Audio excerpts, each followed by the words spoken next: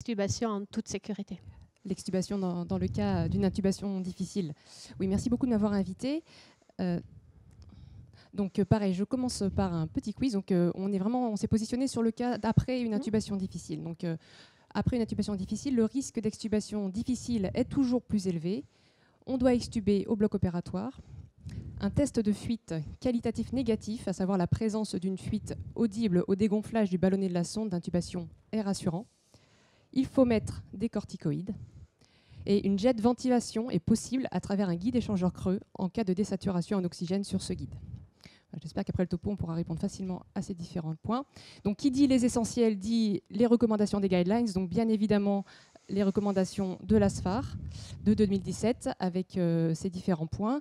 Mais euh, il est euh, pas mal de s'inspirer parfois de recommandations un peu plus anciennes, notamment celle de la Difficult Airway Society qui s'était sortie en 2012, qui avait une une démarche en quatre étapes très intéressante, euh, à savoir planifier, préparer, réaliser et enfin suivre cette extubation. Donc on va resuivre ce plan-là. Alors, diapo suivante. La diapo, voilà. Donc, euh, Première étape, planifier une extubation. Nous venons d'avoir un patient difficile à intuber, la chirurgie s'est quand même déroulée.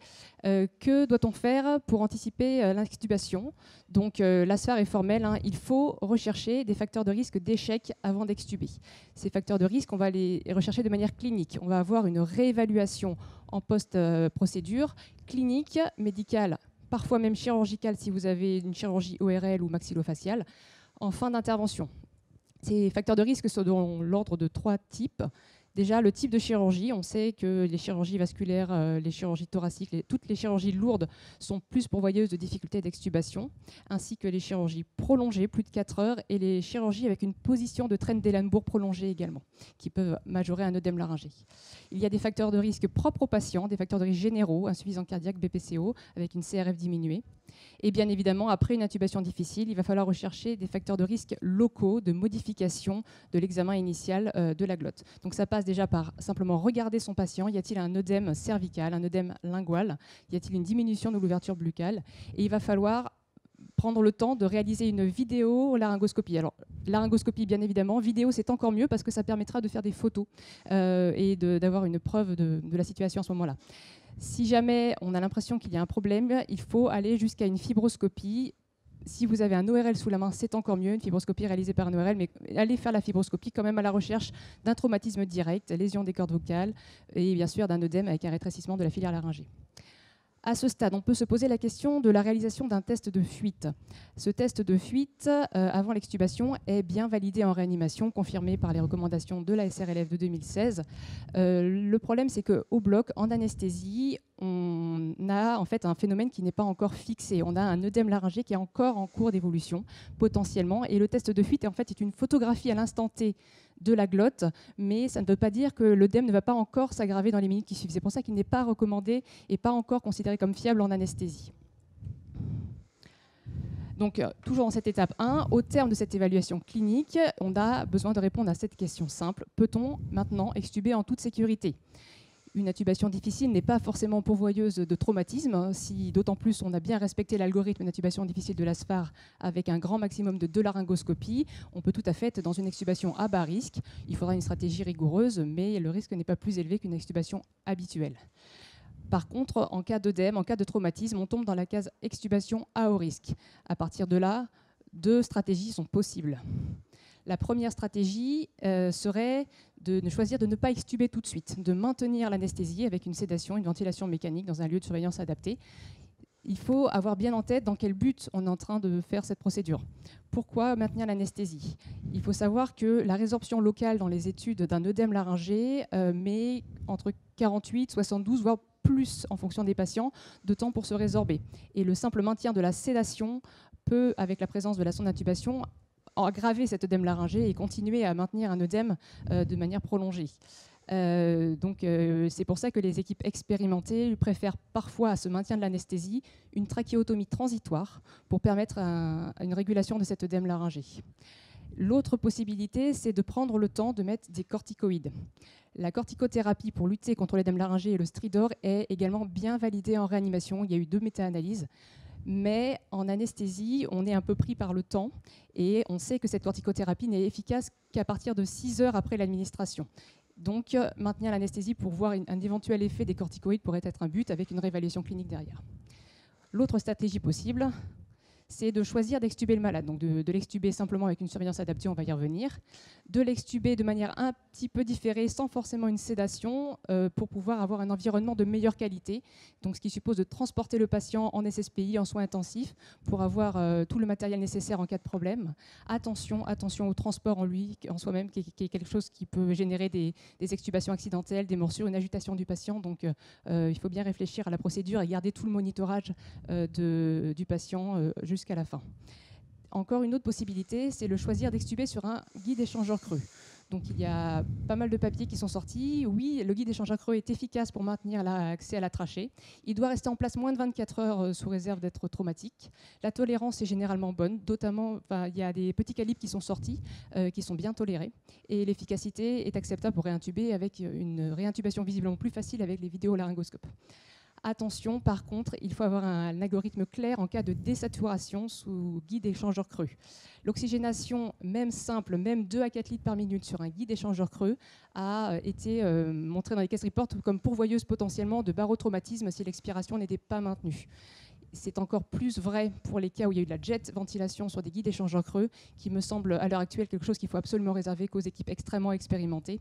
Du moment où votre patient désature sur guide échangeur creux, il est temps de le réintuber. Et le risque de complications traumatiques, lacération pulmonaire, lacération gastrique ou d'échec à la réintubation sont quand même de l'ordre de 7 à 14% Donc euh, attention à la surveillance et attention euh, à la réintubation. Une fois que nous avons planifié cette extubation, nous allons pouvoir la, la préparer, l'optimiser. Donc bien évidemment, il va falloir faire très rigoureusement attention à réunir tous les critères d'extubation. Euh, le patient doit être parfaitement décurarisé, réveillé, attention aux sédations résiduelles et surtout le message est de ne pas hésiter à rendormir un patient quand la situation n'est pas stabilisée. Il est agité, il y a un défaut d'analyse, etc. Il va falloir préparer bien évidemment un environnement. Cet environnement doit être à la fois humain, donc euh, les recommandations de l'ASFAR, c'est deux professionnels de santé avec un médecin anesthésiste réanimateur présent pour l'extubation difficile et du matériel d'oxygénation et le chariot d'intubation difficile dans la même pièce. Une stratégie de secours planifiée à l'avance et connue de tous euh, doit être élaborée, basée euh, la plupart du temps sur l'algorithme d'intubation difficile. Étape 3, réaliser l'extubation, donc sur une stratégie rigoureuse, c'est les recommandations de l'ASFAR. Euh, je vous laisse lire. Et j'insisterai davantage sur le suivi post-extubation qui est parfois un petit peu moins euh, pris en compte. Donc euh, l'objectif principal, c'est de maintenir l'oxygénation, quoi qu'il arrive, sous oxygénothérapie simple, au masque, voire sous VNI au petit flou en fonction des patients déterminer, on l'a fait normalement à l'étape 1, le lieu de surveillance adapté au risque et surtout transmettre de façon écrite euh, le risque et la conduite à tenir en cas de problème pour l'équipe qui va prendre le relais euh, sur la garde et l'équipe d'après. Donc le patient devra être informé bien évidemment, mais euh, c'est important de transmettre.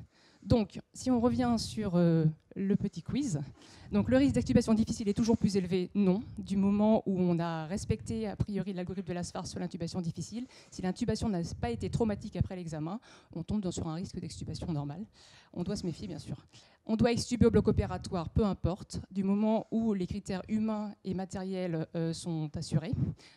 Un test de fuite qualitatif négatif est rassurant. Euh, c'est sûr que quand on entend cette fuite, on sait qu'il n'y a probablement pas encore de laryngée, mais je vous rappelle encore une fois que c'est un phénomène dynamique et que ça doit ne pas euh, rassurer faussement sur les heures qui vont suivre il faut mettre des corticoïdes. Ce n'est possible, ce n'est recommandé que pour les intubations traumatiques et le délai d'action est de plus de 6 heures, donc à considérer en fonction du maintien de l'anesthésie et des risques propres au maintien de l'anesthésie. Une jet de ventilation est possible à travers un guide échangeur creux. Je vous le déconseille fortement, c'est extrêmement dangereux. Il faut réintuber le malade à ce moment-là. Super. Merci beaucoup pour, euh, pour cette présentation qui est très très claire. Euh, tu as parlé au moment, donc on ne met pas des corticoïdes systématiquement. Quand on doit en mettre, à quelle dose on doit la mettre? Alors là, je me base sur les recommandations pour la réanimation hein, qui parlent d'un équivalent de 1 mg kilo euh, d'équivalent méthylprénisolone. Pardon, et ils disent une efficacité au bout minimum de 6 heures, mais c'est plutôt en fait des injections répétées trois fois par jour et parfois sur plusieurs jours avant une extubation en réa. Mais là, c'est peut-être un peu différent puisqu'on est sur une, étape qui est beaucoup plus brève. Voilà, avec un œdème qui peut-être euh, est plus récent. Et alors l'œdème, qu'on soit bien clair, il n'y a pas de schéma, il n'y a pas de pourcentage, c'est vraiment une évaluation clinique. C'est là où, ça peut être compliqué. C'est vrai que c'est compliqué, mais j'ai demandé aux, ORL et en fait, ils n'ont pas d'algorithme spécifique d'évaluation d'un traumatisme après l'extubation, en tout cas pas plus que nous. Et donc, euh, je pense que c'est indépendamment de la formation, plutôt euh, basé sur l'expérience de la personne qui va faire cette fibroscopie ORL. On sait que la sonde d'intubation altère plutôt la commissure postérieure. Et euh, Patrick voulait peut-être rajouter. Donc voilà, donc la fibroscopie ORL, c'est la visualisation clinique simple. Je veux bien insister sur ce que Marie a dit parce que c'est très important, c'est le phénomène dynamique. Il y a la dynamique de l'œdème, mais il y a aussi la dynamique de la respiration. Donc, la respiration par elle-même, elle est dynamique. Et quand on évalue la le potentiel danger de l'extubation, il y a une voie aérienne avec un stent dedans, qui est un tube. Et la dynamique d'une voie aérienne avec un stent, peut être très différente de la dynamique d'une voie aérienne sans stent. Et ça peut se passer très bien avec un stent, on l'enlève et il y a beaucoup de choses qui pourraient en théorie s'affaisser et créer une, une extubation difficile qu'on n'avait pas euh, anticipé en allant regarder. Tout à fait. Et, même, je ne suis pas allé aussi loin, mais pour euh, les recommandations sur le test de fuite en réanimation, il y a assez à l'expiration et pas à l'inspiration pour ces mêmes phénomènes dynamiques de variation avec la respiration. Et il y, a une légende urbaine qui dit euh, si on met des tubes échangeurs creux ou si on met des, systèmes de pour la réintubation lors de l'extubation, si on laisse des, des tubes, est-ce qu'on ne augmente pas le risque de réintubation? Je pense que ça relève plus de la légende urbaine. L'intérêt est beaucoup plus important. Euh, il y a moins d'hypoxémie, il y a moins de, risques pour le patient. Est-ce que tu confirmes ça sur les données? Alors, il n'y a pas d'études spécifiques sur un œdème laryngé qui serait maintenu par un guide. Ce qui est vrai, c'est que le guide, en ce moment, on a des tailles très petites, donc euh, très peu traumatiques. Par ailleurs, on, les recommandations, c'est de le garder moins de 24 heures, donc euh, il n'y a pas d'effet de, pérennisation. Et par ailleurs, c'est difficile dans ces études-là de faire la part entre un œdème qui continue à évoluer de par le traumatisme initial et un œdème qui serait peut-être un tout petit peu aggravé par un guide échangeur creux. Enfin, dans les deux cas, euh, peu importe la physiopathologie, si l'œdème apparaît, il faut réintuber le malade. Il faut réintuber et notre guide va être salvateur une aide salvatrice. pour, le, pour le patient. Euh, euh, super. Est-ce que